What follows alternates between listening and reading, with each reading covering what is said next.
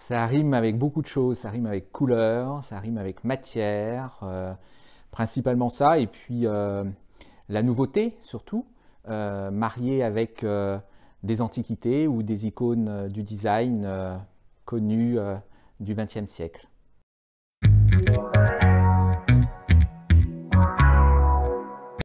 c'est un meuble qui a vécu, surtout ici avec des meubles qui datent du XVIIIe siècle principalement. Euh, c'est passé de main en main, euh, même si ça a été restauré, euh, ça a une autre forme, ça a quelque chose que l'on ne fait plus à l'heure actuelle. Donc ça vous apporte une âme dans votre intérieur.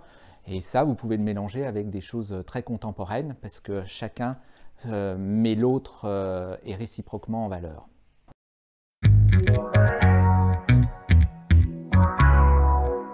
C'est vraiment mélanger l'ancien et le contemporain. C'est par exemple euh, une commode 18e avec une photo euh, par exemple de chez Yellow Corner, que ce soit euh, Bernard Langer, des paysages assez, avec une ligne d'horizon assez lointaine pour justement emmener la personne qui habite ce lieu loin, très loin, et justement après l'imaginatif fait tout.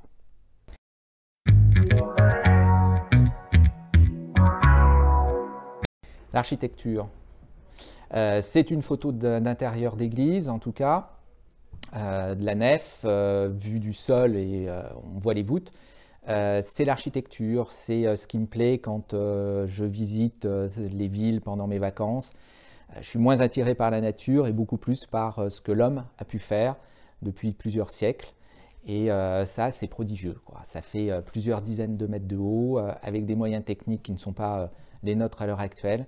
Donc ça, c'est bien. Et c'est bien de le montrer aussi en matière de décoration, de mettre ce genre de photos, en tout cas, euh, dans un intérieur, euh, euh, n'importe quelle pièce. Mais c'est tendance, en tout cas.